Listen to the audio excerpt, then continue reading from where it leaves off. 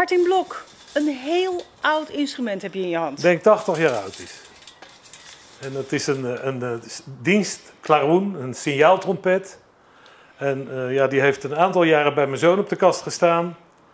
En onder dwang van familie ga ik nu vanavond de taptoe weer spelen na 50 jaar. Maar wil je daarmee zeggen dat je 50 jaar lang 50 jaar geen, trompet, hebt gespeeld? Nee, nee, nee. Dat was te lastig om uh, thuis te oefenen, want dan kreeg ik burenruzie door. We woonden toen op een etagetje.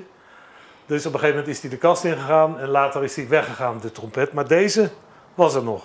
Dat viel denk ik niet mee. Nee, dat was heel zwaar. Ik heb twee weken de tijd gehad om er weer een beetje ambrosure terug te krijgen. Je doet dat met je lippen.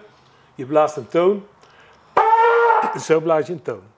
En als je hoger gaat, dan moet je je lippen dichter bij elkaar knijpen. ga je hoogte. En dan moet je dan op de goede manier doen dat je de tonen allemaal goed pakt. Ik ga vanaf mijn balkon in Leidsendam tegenover Leidse Hagen ga ik staan te toeteren. Kijk je daar nou naar uit of ben je ook nog een beetje gespannen? Nou, ik, ben, uh, ik, deels, ik kijk er zeker naar uit. En, uh, maar ik ben ook heel erg gespannen. Ik heb vanmorgen belde mijn broer op. Ik zei, nou, ik doe het voor jou, maar met knikkende knieën.